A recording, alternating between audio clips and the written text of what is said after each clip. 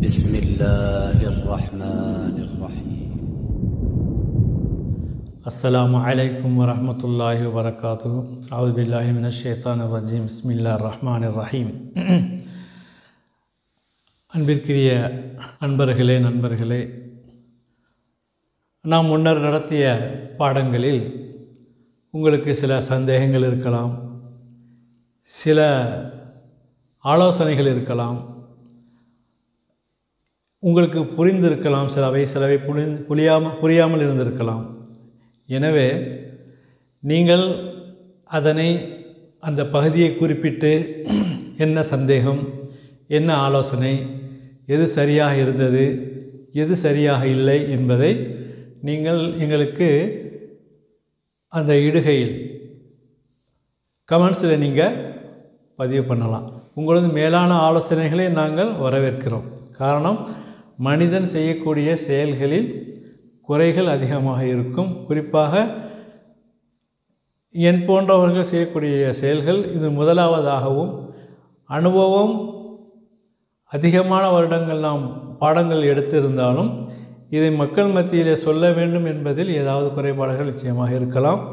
இதை சிறந்ததற்காக சிறந்ததாக இதை மேலோங்கியதாக இதை சிறப்பானதாக கொண்டு வருவதற்கு உங்களுடைய மேலான ஆலோசனைகளை எங்களுக்கு தந்து உதவும்படி மிக்க அன்புடன் கேட்டுக்கொள்களை பொறுத்த வரைக்கும் நம்ம பத்து அடையாளங்களை சொல்லிட்டோம். அந்த பத்து அடையாளங்கள் இருக்கும் பொழுது எழுத்துகளில் அந்த சப்தங்கள் அதன் மூலமாக ஏற்படும் சொன்னோம். அதில் ஒன்று நம்ம பத்து தான் சொன்னோம் பதினொன்றாவதாக ஒன்று இருக்குது. ஆனால் அது வந்து அதன் மூலமாக சப்தங்கள் எதுவும் மாறாது. இது ஒரு அடையாளமாக போட்டிருப்பாங்க. அது சப்தம் மாறாது என்பதனால அதை தனியாக நம்ம சொல்கிறோம் இல்லைனா நம்ம அது முதலே தான் சொல்லணும். பதினொன்றாவதாக சொல்லணும். அது பதினொன்றாவதாக சொல்ல முடியாது. அந்த பத்து வேற. சொல்லக்கூடிய சத்தங்கள் வரக்கூடியது வேறு. இது வந்து சப்தங்கள் எதுவும் மாற்றம் ஏற்படாது. இது இதுக்கு பேர் ஷத்துன்னு சொல்லுவாங்க. சத்துன்னு சொன்னோம்னா நம்ம சத்து என்பதை ஒன்றுக்குள் இரண்டுன்னு சொல்லலாம் அல்லது ஒன்றில் இரண்டுன்னு நம்ம அதுக்கு பேர் வச்சுக்குவோம். என்ன அப்படின்னு சொன்னோம்னா உதாரணமாக பார்ப்போம். இப்போ தமிழில் எடுத்துக்கிட்டோம்னா இது ஒரு எழுத்து இருக்குது இது ஒரு எழுத்து ரெண்டு எழுத்து இருக்குது அதே போல் இங்கே எல்லா எழுத்துலையும் நம்ம என்ன செய்யணும் த இம்மி இல்லி ரெண்டுமே இரண்டு இரண்டு எழுத்துக்களாக இருக்கும். பார்த்தீங்கன்னா தெரியும். அப்போது இது போல் ஒரே எழுத்துக்கள் ரெண்டு எழுத்துக்கள் இருக்கும் பொழுது அரபுகள் என்ன செய்கிறாங்க ரெண்டு எழுத்தை ஏன் எழுதணும்? அப்படிங்கிறதுக்காக உதாரணம் பாருங்கள் ஆ இருக்கா? இந்த ஆ. ஆன்னு போட்டுருவோம். இம் இருக்கா? இம். இம்முன்னு போட்டுருவோம். இது ஆ. இது இம். இந்த மா இருக்கா? மாவுக்கு மாவை போட்டுருவோம்.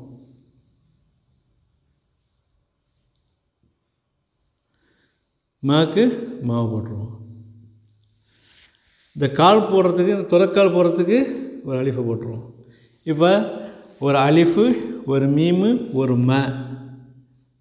ஒரு அலிஃபு. இது அம்மான்னு வந்துடுது அரபுகள் என்ன செய்கிறாங்க அப்படின்னா ஏன் நம்ம ரெண்டு மீமை போடணும்? அதை ஒரே மீமாக ஆக்கி கொள்ளலாமே அப்படின்னு என்ன பண்ணுறாங்க இவங்க? அலிஃப் அப்படி போட்டுக்கிறாங்க. இந்த ஒரு மீம் அப்படி கட் பண்ணிடுறாங்க. இந்த மீமு ஜபரோடு இருக்கிறத அப்படி போட்டுக்கிறாங்க. ஆ மேன் இருக்குது இந்த சுக்கு உள்ளது இங்கே எழுத காட்டணும் அப்படிங்கிற இந்த சுக்குன் இம்மை காட்டுறதுக்காக இந்த இம்மை காட்டணுங்கிறதுக்காக இது மேலே இப்படி போடுறதுக்கு பேர் ஷத்தான்னு சொல்லிடுறாங்க. அம்மை. இந்த அலிஃபை சேர்த்துட்டோம்னா அம்மா. அம்மான்னு வந்துடும். அதே போல் இங்கே பார்ப்போமா? இது அ. இது இத்து. இது த. இது கால் துணைக்கால். இது அத்தான்னு இருக்குது அவங்க என்ன பண்ணணும்? ரெண்டு தே வேணாம். ஒரே தேயாக்கிக்கும் அப்படி என்ன பண்ணுவாங்க? இந்த சுக்குநூலில் தாவை அழிச்சிட்டு அலிஃபு இந்த தாவை போட்டுட்டு இந்த சுக்குன்னு போன எழுத்துக்கு இதை போட்டுருவாங்க. அத் ஜாயின் பண்ணி அத்தா. சரிங்களா? அத்தான்னு வந்தோம் அதே போல் மம்மின்னு இருக்குது ரொம்ப ஈஸி மம்மிங்கிறது. பாருங்கள் மா இம் மீ மம்மின்னு இருக்குது இதை வந்து இந்த ரெண்டு எழுத்துக்குள் ஒன்று கொண்டு வரணும் இந்த ஒரு இதை ஒரு எழுத்துக்குள் ரெண்டு இருக்குது ஒன்றுக்குள் ரெண்டு ஒன்றில் இரண்டு. இந்த ஒரு மீமுக்குள் ரெண்டு மீம் இருக்குது ஒரு தாவுக்குள் ரெண்டு தா இருக்குது. அதே தான் இங்கே சொல்ல போகிறோம் ம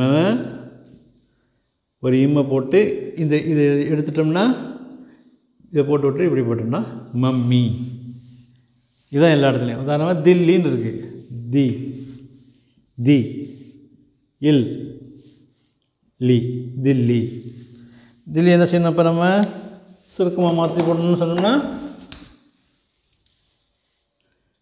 திய போட்டுக்கணும் லாவை போட்டு போட்டுட்டு இங்கே சத்தை போடணும். இதை எப்படி எடுத்துடணும் தில்லி. சா அதான். ஒன்றுக்குள் இரண்டு. ஒன்றுக்குள் இரண்டுங்கிறதுக்கு தான் இந்த சத்தை பயன்படுத்தணும். அதே போல் இது எல் அது என்ன செய்யணும்? இரண்டு ஒரே எழுத்துக்களாக இருந்தால் மட்டும்தான் வரும். ரெண்டு மீம் இருக்கணும் ரெண்டு தா இருக்கணும் ரெண்டு லாம் இருக்கணும். இப்படி ஏதாவது ரெண்டு எழுத்துக்கள் ஒன்றா ஒரே இடத்துல வரும் பொழுது இந்த சத்து பயன்படும். அதனால தான் இந்த சத்து வந்து சப்தங்களில் மாற்றம் ஏற்படுத்தாது. எழுத்துக்களில் இரட்டையை ஒற்றையாக ஆக்கிவிடும். இரண்டு எழுத்துக்களை ஒன்றாக ஆக்கணும். இரட்டையை ஒற்றையாக மாற்றி வேணும்.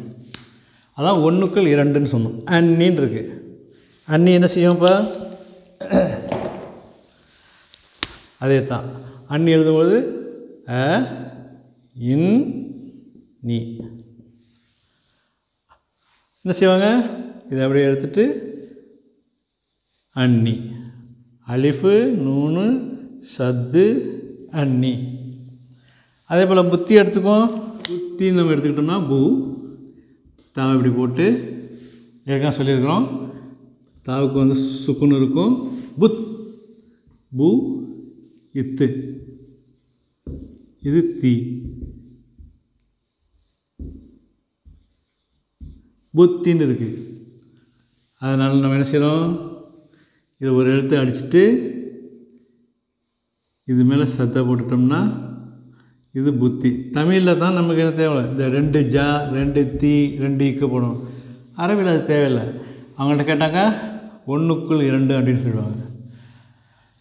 பார்க்குறதுக்கு ஒரு ஆளாக இருப்பான் உள்ளே ரெண்டு பேர் இருக்காங்க அப்படின்னு எனக்கு ஒரு வேற ஒரு முகம் இருக்குன்னு சொல்லுவாங்களே அந்த மாதிரி. பஜ்ஜியை பார்த்துக்கோ அதே மாதிரி பஜ்ஜி. பஜ்ஜி எப்படி வருது? பா. பா. ஏஜ் எப்படி தான் பஜ்ஜிய பஜ்ஜி. இந்த ஜீமுக்குள் ரெண்டு ஜி இருக்குது. மக்கி. மீமு க. மக்கி. இதுக்குள்ள ஒரு இக்கு இருக்குது ஒரு க கீ இருக்குது லில்லின்னு எழுதுறோம். ஒரு உதாரணத்தை எழுதுகிறோம் முதல்ல லீ. இல். லி. லில்லி எப்படி? இந்த லீ இங்கே இருக்குது இல்லை இங்கே இருக்குது லீன்னு இருக்குது லில்லி இதை ஷார்ட்டாக மாற்றணும்னு சொன்னால் ஒரு எழுத்தை கட் பண்ணிடுங்க. இந்த எழுத்தை கட் பண்ணிவிட்டு லீ லாமோட சேர்த்துது லில்லி ஆக பத்து அடையாளங்களை நம்ம சொல்லிட்டோம் பத்து குறிகளை சொன்னோம் அது சப்தங்களை மாற்றம் ஏற்படுத்தும். இந்த சத்து எழுத்துக்களில் தான் மாற்றத்தை கொண்டு வரும் சப்தங்களில் மாற்றத்தை கொண்டு வராது. சத்துடைய பாடம் இது முடிஞ்சிச்சு. இதில் ஏதாவது சந்தேகங்கள் இருந்தால் நீங்கள் நீங்கள் நமக்கு கமெண்ட்ஸில் சொல்லலாம். எழுத்துக்களுடைய குறியீடுகள் குறிகள் அடையாளங்கள் சொல்லக்கூடியதை நம்ம இத்தனை முடிச்சுக்கிறோம். அப்போ நம்ம அடுத்த பாடங்களில் வேறு வித தலைப்பில் சந்திப்போம் இன்ஷா அல்லாஹ் அலாம் அலைக்கும்.